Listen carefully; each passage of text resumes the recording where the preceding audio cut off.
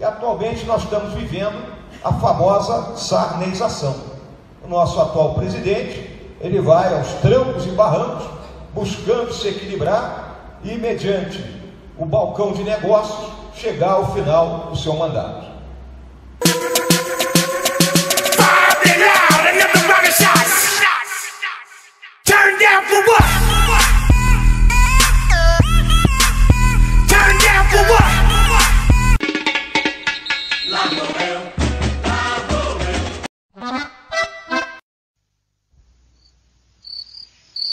Não tolerarei. Repito, não tolerarei. Lá vou eu, lá vou eu.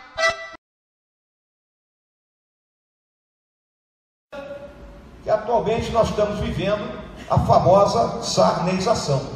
O nosso atual presidente, ele vai aos trancos e barrancos, buscando se equilibrar e, mediante o balcão de negócios, chegar ao final do seu mandato. Desculpe que te amo demais. Lá vou eu, lá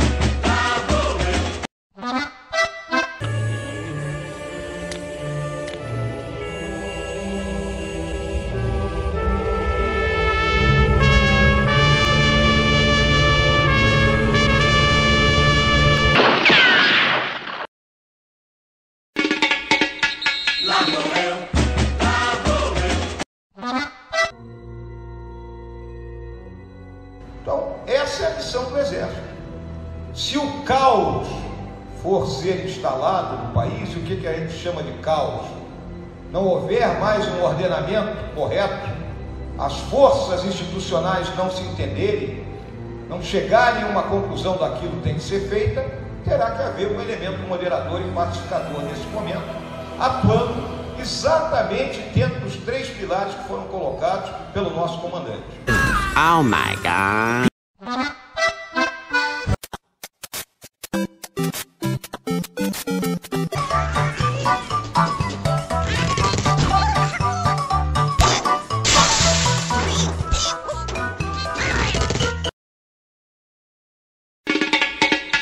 Lá vou eu. É.